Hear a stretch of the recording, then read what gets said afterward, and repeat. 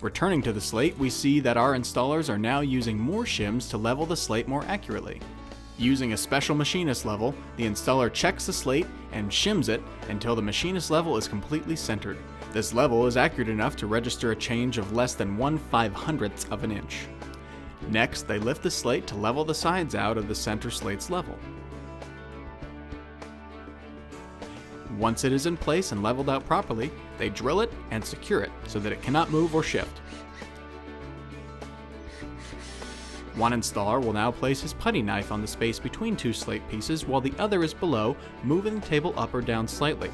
The installer checks for light between the seams. The installer below then knocks it underneath to raise it up. When no light shines through, the slate is level. Once the slate is perfectly level, it's time to seal the tiny cracks between the three individual pieces, thus making the slate act as a single uniform piece. To properly seal it, our installers spread Bondo on the slate where it joins itself and over the various screw holes. Bondo is an incredibly strong two-piece sealant. It is identical to what they use to fix dents on cars. Note that because Bondo is so strong, it actually forms a stronger bond than the slate has naturally. Because of this, you'll want to get a pool table scribed before it is moved to a new room, otherwise the slate could break and cause serious injury. After about 5 minutes, the Bondo has dried and our installer uses a shaver to remove the excess Bondo from the holes.